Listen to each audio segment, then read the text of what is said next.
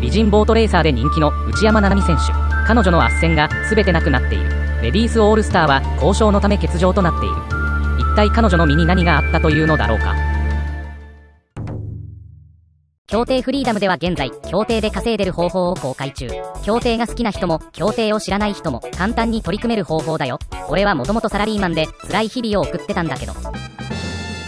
その後、稼げる方法に出会い、人生が急上昇。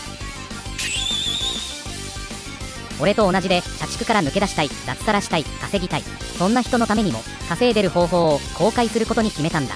詳細は動画の概要欄をチェックしてね。